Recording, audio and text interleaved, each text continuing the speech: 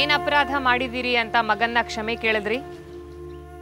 ಬಿಟ್ಟು ಕೊಟ್ರೆ ಸ್ವಾತಂತ್ರ್ಯ, ಕಟ್ಟಿಕೊಂಡ್ರೆ ದಾಸ್ಯ. ಫ್ಲ್ಯಾಟ್ ತಗೊಳ್ಳೋದಾಗತ್ತೆ ಪ್ರಾವಿಡೆಂಟ್ ಫಂಡಲ್ಲಿ ಇದ್ದದ್ದು ನನ್ನದೇ ಹಣ. ಬಡ್ಡಿ ಸೇರಿ ಐವತ್ತು ಲಕ್ಷ ಬರುತ್ತೆ. ಅವರು ಕೊಡೋದನ್ನು ನಿಧಾನ ಮಾಡಿದ್ದು ಒಳ್ಳೇದೇ ಆಯ್ತು ನೋಡು. ಬಂದಿದ್ರೆ ಅದು ಖರ್ಚಾಗಿರೋದು. ಈಗ ಫ್ಲ್ಯಾಟ್ ತೊಗೋತೀನಿ, ಶಿಫ್ಟ್ ಆಗ್ತೀನಿ. ವಸು ಅಲ್ಲಿ ಸೆಟ್ಲಾಗಬಹುದು ವಸು ಒಬ್ಬಳೇ ಆಗ್ತಾಳೆ. ಹಾಗಾಗಿ ಅರುಣನಲ್ಲೇ ಕ್ಷಮೆ ಕೇಳಿದೆ. ನನ್ನ ಮೇಲಿನ ದ್ವೇಷಕ್ಕೆ ಅವನು ಅವಳನ್ನು ದೂರ ಮಾಡಬಾರ್ದಲ್ವಾ?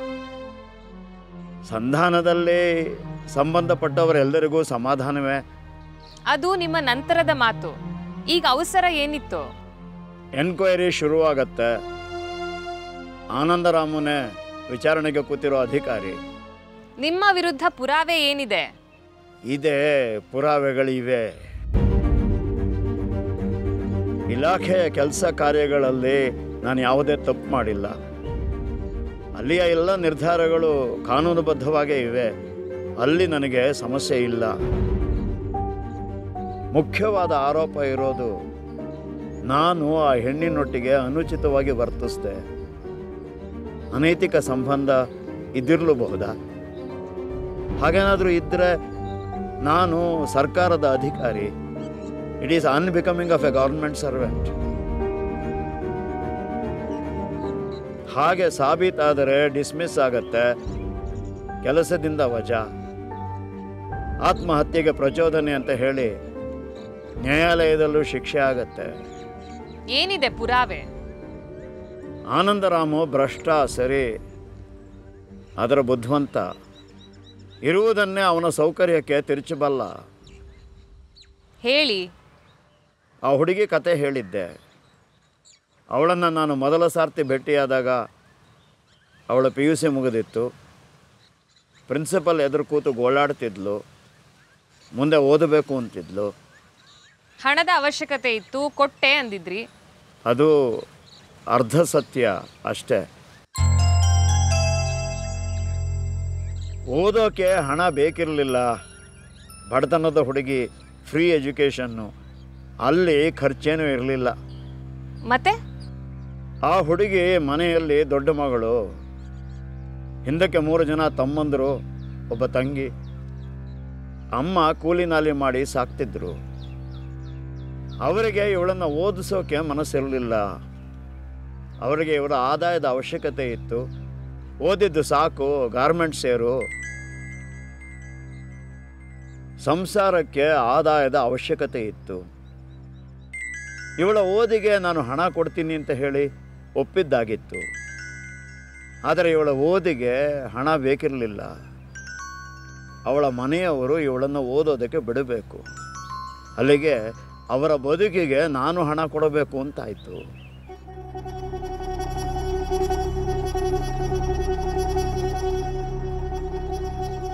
ಅತಿ ಅಲ್ವಾ?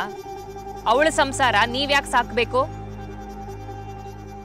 ಮಾತು ಕೊಟ್ಟಾಗಿತ್ತು.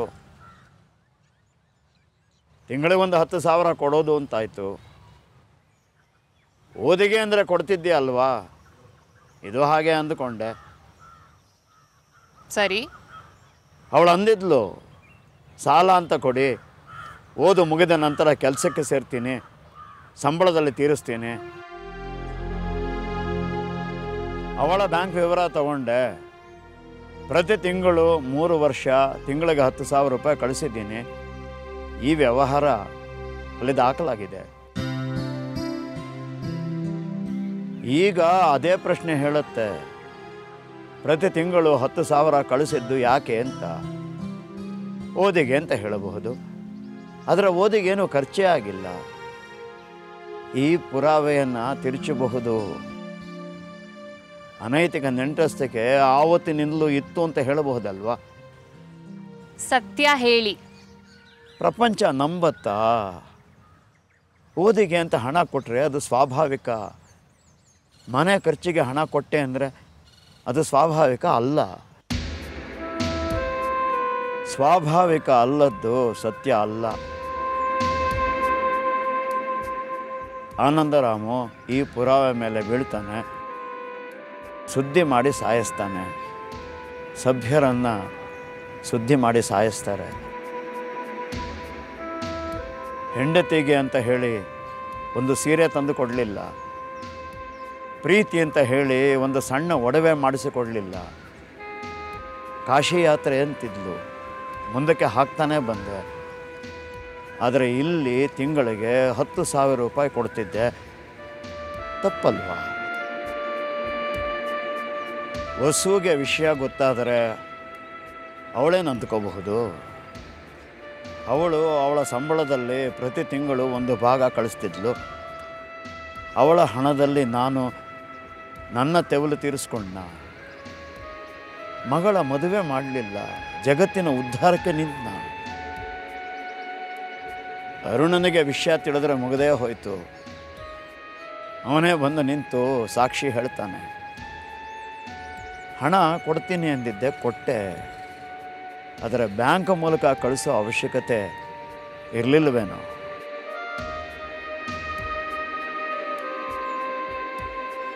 ಧರ್ಮಕ್ಕೆ ದಾಖಲೆಯ ಅವಶ್ಯಕತೆ ಇಲ್ಲ. ದಾಖಲೆ ಅಂತಿದ್ದ ಹಾಗೆ ಅದು ವ್ಯವಹಾರ ಆಗಿ ಹೋಗುತ್ತೆ. ವ್ಯವಹಾರಗಳ ತುಲನೆ ಅವರವರ ದೃಷ್ಟಿಕೋನ ಅನಿಸಿಕೆಗಳ ಮೇಲಲ್ವಾ? ಈಗೇನು ಮಾಡಬಹುದು? ಇಲಾಖೆಯ ವಿಚಾರಣೆ ಸದ್ಯಕ್ಕೆ ಬೇಡ. ಆನಂದರಾಮು ಅಪಾಯ. ಯಾರಾದರೂ ವಕೀಲರನ್ನು ಹಿಡಿತೀನಿ. ನ್ಯಾಯಾಲಯದಲ್ಲಿ ವಿಚಾರಣೆ ಮುಗಿಯೋವರೆಗೂ ಈ ವಿಚಾರಣೆ ಬೇಡ ಅಂತ ಹೇಳಿ ಸ್ಟೇ ತರ್ತೀನಿ. ಪ್ರಾಯಶಃ ಕಾಲ ಬದಲಾಗಬಹುದು. ನನಗೂ ವಯಸ್ಸಾಗಿದೆ. ನನ್ನ ಕಾಲಮಾನ ಮುಗಿದರೆ ಸಲೀಸು. ಅದು ಮುಗಿದೆ ನನ್ನ ಕಾಲ ಬಂದರೆ ಸೌಕರ್ಯದ ಉತ್ತರ ಸಿಗಬಹುದು. ಅರುಣನಿಗೆ ಬಿಡುಗಡೆ ಕೊಟ್ಟಿದ್ದೀನಿ. ಹೊಸಗೂ ಕೊಡ್ತೀನಿ. ನನಗೆ? ಏನು? ಬಿಡುಗಡೆ. ರಕ್ತಕ್ಕೆ ಬಿಡುಗಡೆ ಕೊಡಬಹುದು. ಭಾವಿಸಿಕೊಂಡದ್ದಕ್ಕಲ್ಲ. ನೀನು ಭಾವಿಸಿಕೊಂಡ ನೆಂಟಸ್ತಕ್ಕೆ ಇಲ್ಲಿ ಕೊಡೋಕ್ಕಾಗಲ್ಲ. ನೀನು ತಗೋಬೇಕು ಅಷ್ಟೇ. ನಿನಗೆ ಬೇಕು ಅಂತ ಅನ್ನಿಸ್ದಾಗ ನೀನು ತಗೋ. ವೃತ್ತಿಲಿದ್ದಿ ಈ ಮಾತು ನೆನಪಿರಲಿ. There is nothing called absolute truth ನಿರುಪಾದಿತ ಸತ್ಯ ಅನ್ನೋದು ಇಲ್ಲವೇ ಇಲ್ಲ. ಜಗತ್ತು ಪ್ರತಿಕ್ರಿಯಿಸೋದು, ನಿರ್ಧರಿಸೋದು, ಅದಕ್ಕೆ ಅರ್ಥವಾಗುವ, ಅದು ಒಪ್ಪಿಕೊಳ್ಳುವ ಅದಕ್ಕೆ ಅನುಕೂಲಕರವಾದ ಸತ್ಯದ ಮೇಲೆ.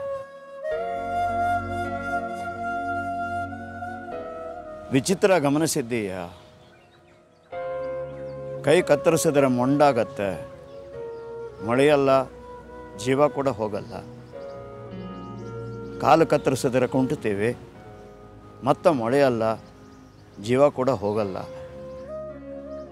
ಆದರೆ ಕ್ಯಾನ್ಸರ್ ಗೆಡ್ಡೆ ಕತ್ತರಿಸಿದ್ರೆ ಅದು ಮೊಳೆಯುತ್ತೆ. ಅದು ನಮ್ಮನ್ನೇ ಕೊಂಡೊಯ್ಯತ್ತೆ. ತಪ್ಪು ಅಂತಲ್ಲ, ಭಾವಿಸಿಕೊಂಡ ಸಂಬಂಧಗಳೆಲ್ಲ ಇಷ್ಟೇ ಅಲ್ವಾ? ಉಪಮೆ ತಪ್ಪಿರಬಹುದು, ಆದರೆ ಪ್ರಕೃತಿಯಲ್ಲಿ ಹಾಗೇ ಅಲ್ವಾ? ರಕ್ತದ್ದು ನಾವು ಕಡ್ಕೋಬಹುದು. ಆದರೆ ಭಾವಿಸಿಕೊಂಡದ್ದು ಅವರೇ ಬಿಡಬೇಕು.